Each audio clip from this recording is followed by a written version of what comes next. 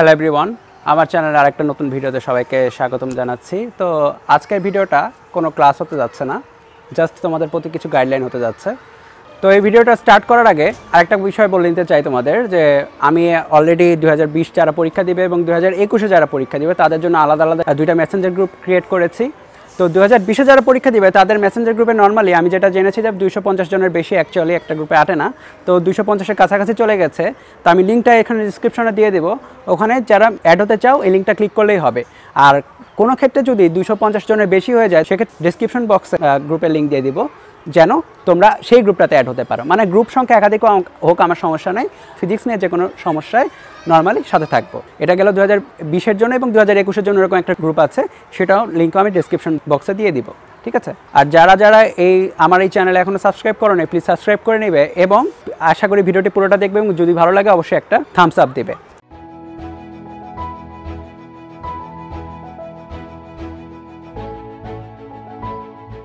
এখন সম্ভবত তো টেস্ট পরীক্ষা সবারই শেষ, তো সামনে এইচএসসি পরীক্ষা। এখন টাইমটা সবচেয়ে বেশি ক্রুশাল টাইম অ্যাকচুয়ালি যে তুমি ভবিষ্যতে কি হতে চাও বা ভবিষ্যৎটা কীভাবে গড়তে চাও, এই টাইমটার উপরেও অনেকটা বেশি নির্ভর করে।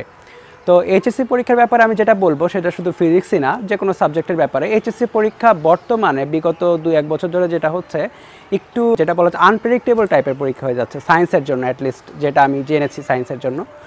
আনপ্রেডিক্টেবল টাইপের হয়ে যাচ্ছে বলতে গেলে মানে কীভাবে কীরকম প্রশ্ন আসবে সেটা অ্যাকচুয়ালি অনেকে বলে যে অনেক সহজ প্রশ্ন হয়, কিন্তু দেখা যায় যে কঠিন প্রশ্ন সেট করে ফেলে।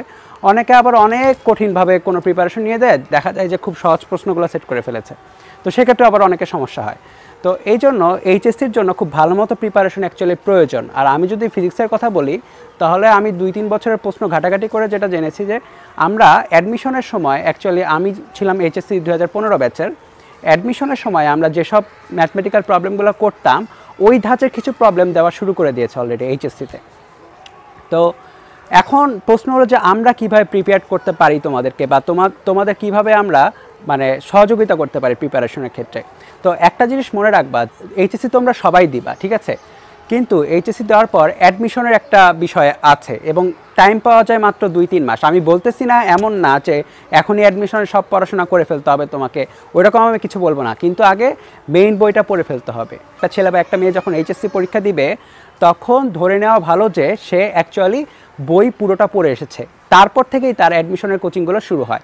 মানে অ্যাডমিশন কোচিংয়ের ধারণাটাই এরকম যে বই তুমি পুরোপুরি পড়েছো, এখন তোমার এই পড়ার লেভেলটাকে আরও কীভাবে বাড়ানো যায়।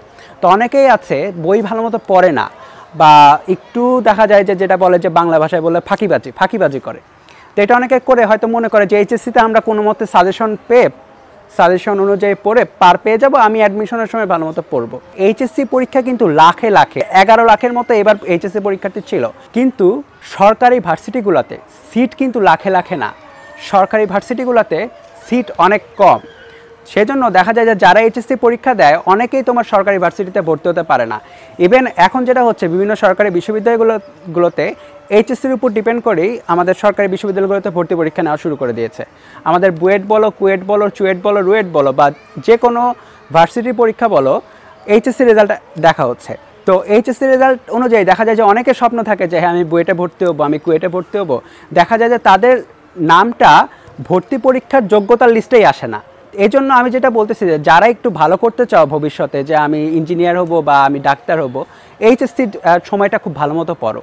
তো এইচএসসির সময়টা ভালো মতো পড়ার প্রসেসটা কী হতে পারে? যেহেতু আমি এইচএসসি পরীক্ষা অনেক আগে দিয়ে এসছি এবং আমার পরে কয়েকটা ব্যাচ পার হয়ে গেছে এবং তা, আমি তাদের সাথে কিছু জনের সাথে যুক্ত ছিলাম, আমি দেখেছি অ্যাকচুয়ালি যে কীভাবে তারা প্রিপারেশন নিচ্ছে এবং সেটা আমার সাথে তুলনা করার ট্রাই করেছি। যেটা নর্মাল হয়, যারা যারা ভালো রেজাল্ট করে এইচএসসিতে তারা নর্মালি ভালো কোথাও ভার্সিটিতে ভর্তি হয়ে যায়। হ্যাঁ এটা নর্মাল মানে তুমি যদি এইচএসসিতে ভালো রেজাল্ট করতে পারো, তুমি ধরে নিতে পারো, তুমি কোথাও না কোথাও ভালো মতো চান্স পেয়ে যাবা। এইটা ব্যাপার। এখন এইচএসসিতে ভালো রেজাল্ট করার জন্য কী করতে হবে? যেটা করতে হবে সেটা হলো তোমাকে অনেক বেশি পড়তে হবে। হ্যাঁ অনেক বেশি পড়তে হবে। কারণ এইচএসসির কোশ্চেনগুলো আস্তে আস্তে কঠিন হয়ে যাচ্ছে। এবং এইচএসসিতে এ প্লাস পাওয়ার হারটা একটু কিন্তু কমে পরিসংখ্যান অনুযায়ী দেখবে যে কত পার্সেন্ট এইচ এ প্লাস বা গোল্ডেন এ প্লাস পাচ্ছে। এ প্লাস না পাওয়ার হারটা এখন একটু বেড়েছে আগের চেয়ে, ঠিক আছে? তো এইচএসসিতে এ প্লাস পাওয়ার জন্য তোমার যেটা করতে হবে সেটা হলো পুরো বইটা আগে পড়তে হবে। এক নম্বর হলো এটা, পুরো বই পড়তে হবে। পুরো বইয়ের কোনো টপিক বাদ দেওয়া যাবে না। অনেকে আছে, শুধু সাজেশন পড়ে। তমুক স্যার সাজেশন দিয়েছেন, অমুক ভাই সাজেশন দিয়েছেন সাজেশনেই তো কমন পাওয়া যায়।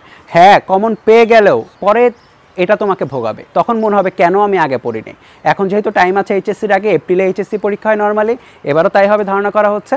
তো মানে এখনও আমি এই ভিডিওটা এখন করছি ডিসেম্বরের একদম শুরুর দিকে। ডিসেম্বর আছে, জানুয়ারি আছে, ফেব্রুয়ারি আছে, মার্চ আছে। চারটা মাস কিন্তু অ্যাকচুয়ালি অনেক টাইম হ্যাঁ? যে কোনো সাবজেক্টে ভালো করার জন্য। তোমার কিন্তু এখন একটা চ্যালেঞ্জ হলো সাবজেক্ট কিন্তু বেশি অনেকগুলা। তো তোমাকে নিজের মতো করে আগায় নিতে হবে। নিজের মতো একটা রুটিন রাখতে হবে। তোমাকে নিজের মতো করে তৈরি হতে হবে। এখন নিজের মতো করে তৈরি নিজেকে তৈরি করা বা নিজের মতো করে নিজেকে রুটিন করার কিছু বেসিক নিয়ম আছে। তুমি নিজের মতো করে রুটিন করতে পারবা, ঠিক আছে? কিন্তু তোমার সায়েন্সের সাবজেক্টগুলোতে যেটা করতে হবে, সেটা হলো ম্যাথমেটিক্যাল প্রবলেম বেশি। এইটা চিন্তা করে কাজ করতে হবে। তুমি ম্যাথমেটিক্যাল প্রবলেম বেশি সলভ করবে, ঠিক আছে? তুমি যদি ম্যাথমেটিক্যাল প্রবলেম বেশি সলভ করো, তাহলে যেটা হবে আমি বলি, তোমাদের এইচএসসিতে যে কোনো টপিকে নর্মালি ফিজিক্সের কথা বলি বা কেমিস্ট্রির কথা বলি, দেখবা যে ম্যাথমেটিক্যাল প্রবলেমগুলো অনেকটা ভাগ জুড়ে থাকে। এবং ম্যাথমেটিক্যাল প্রবলেমগুলো যারা পারে, সেগুলো কিন্তু অ্যান্সার করতে কম টাইম লাগে। ফিজিক্সে তো ম্যাথমেটিক্যাল প্রবলেম দিয়ে ভর্তি থাকে। কেমিস্ট্রির কথা যদি বলি ম্যাথমেটিক্যাল প্রবলেমও কিন্তু অনেক থাকে। অ্যান্সার করতে এগুলো কম টাইম লাগে এবং এগুলো হয় কি একটু মানে বেসিক টাইপের প্রশ্নই কিন্তু আসে। মানে যেগুলো তোমাদের বইয়ে বেশি আছে, সেই টাইপের প্রশ্ন বেশি আসে। তো দেখা যায় যে এগুলো কিন্তু কমনও পাওয়া যায়, ঠিক আছে? মানে হুবহু কমন পাওয়া সম্ভব না, কিন্তু বেসিকটা কমন পাওয়া যায়, যে আমি কী টাইপের ম্যাথটা করব। এটা কমন পাওয়া যায়। টাইম কম লাগে মার্কও ভালো পাওয়া যায়। সেজন্য ম্যাথমেটিক্যাল প্রবলেমটা তোমাকে ভালো মতো করতে হবে এগুলো। এবং পরীক্ষার আগে জাস্ট পরীক্ষার আগে জ্ঞানমূলক অনুধাবনের জন্য আলাদাভাবে জাস্ট একটু প্রিপেয়ার্ড হতে হবে। এটা গেল মানে একটু সেক্টর অনুযায়ী ভাগ করে দিলাম আমি, যে ম্যাথমেটিক্যালের জন্য একরকমভাবে একটু বেশি পড়বা, জ্ঞানমূলক অনুধাবন একটু কম পড়লেও পরীক্ষার আগে আবার পড়তে হবে, এইটা। আবার একটা জিনিস চিন্তা করো যে ম্যাথমেটিক্যাল প্রবলেমগুলো আমি কীভাবে সলভ করব? তো সেক্ষেত্রে আমি যেটা এখন সাজেস্ট করব, যেহেতু টাইম আছে, একটাও ম্যাথমেটিক্যাল প্রবলেম বাদ দেওয়া যাবে না। এখন ম্যাথমেটিক্যাল প্রবলেম তো অনেক, হাজার হাজার। আমি কীভাবে করতে পারি? এটা যেটা করতে পারো, তুমি টাইপ অনুসারে ভাগ করে নিতে পারো। তুমি নিজে না ভাগ করতে পারল বাজারে কিছু বই পাওয়া যায়। আমি তাদের নাম বলব না, কারণ আমি কারোর প্রমোশন করছি না। কিন্তু বাজারে কিছু বই পাওয়া যায় যারা টাইপ অনুসারে ভাগ করে দেয়। এখন ওই বইগুলোর মধ্যেও আবার মানে তফাত আছে। এক একটা বই এক এক রকম।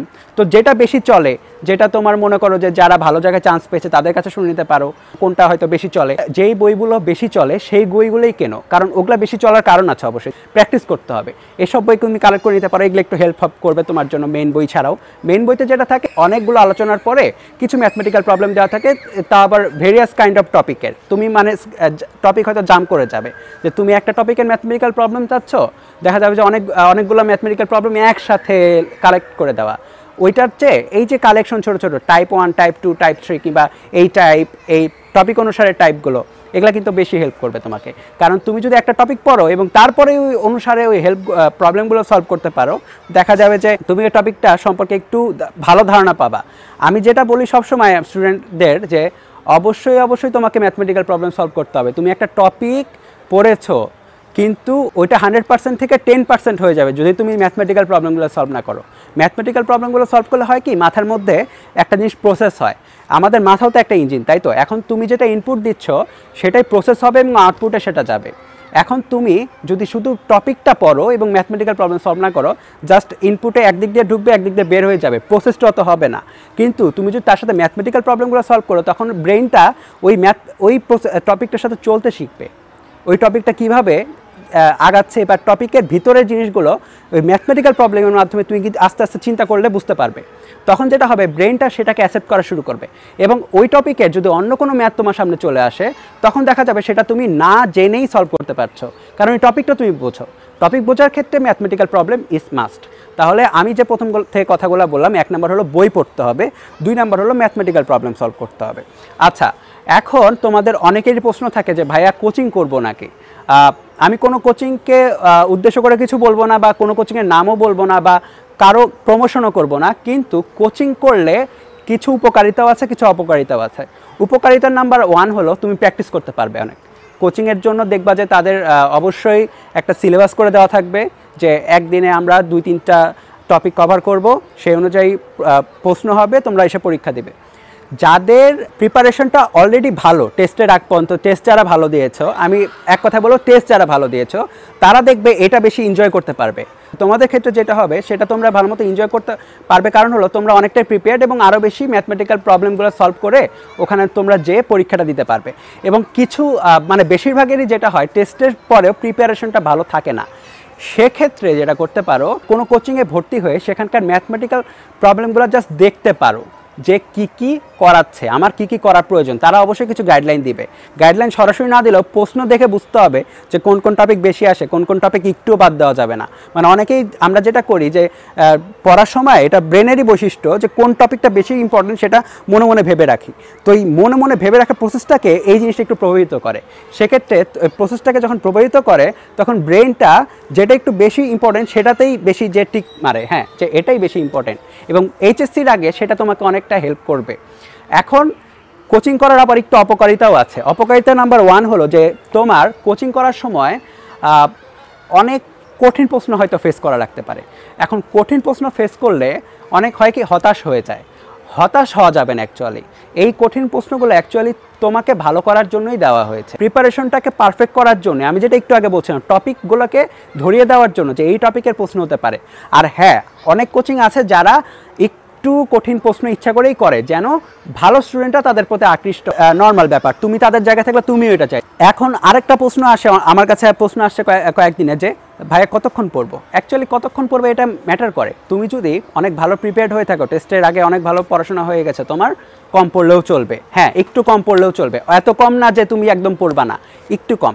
কিন্তু যারা পড়াশোনায় একটু পিছিয়ে আছো, তাদের বলছি যে একটু পড়তে হবে ভাই কষ্ট করে।